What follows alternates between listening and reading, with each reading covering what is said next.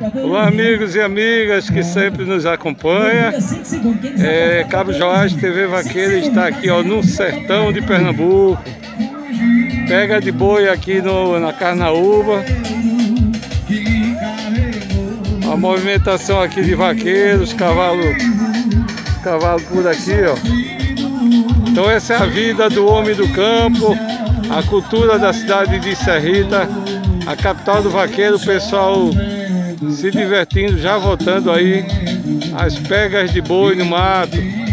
Tem também aqui, ó, os motoqueiros, os vaqueiros. Deixa eu mostrar aqui, ó.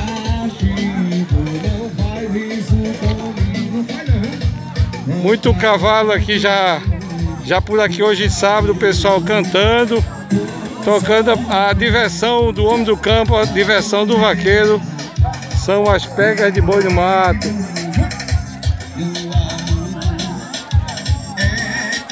Cabo Joás, TV Vaqueira, mostrando aí para todos os amigos e amigas que sempre nos acompanham.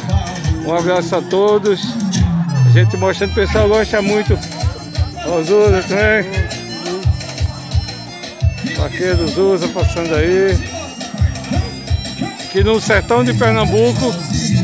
Ó, o clima tá bom, o mato, o capim aqui já tá verde, sinal que deu uma chuvinha. Os cavalos ficam por aqui amarrados, fica aqui descansando. O pessoal sai pro mato, vai correr. E aí quem conseguir pegar as novilhas, tem também a pega pé de porteira, que é marcando o tempo, qual o vaqueiro que faz o melhor tempo na pega da novilha, quando é pé de porteira. E tem essa pega de boi no mato. É, geralmente a gente é, faz sempre essa pega de boi no mato aqui. Opa, viu aí? Então, é o quinto lugar aqui. É lá do Serrote, né? Qual o nome do senhor? Nelson, vaqueiro Nelson ganhou o quinto lugar aqui.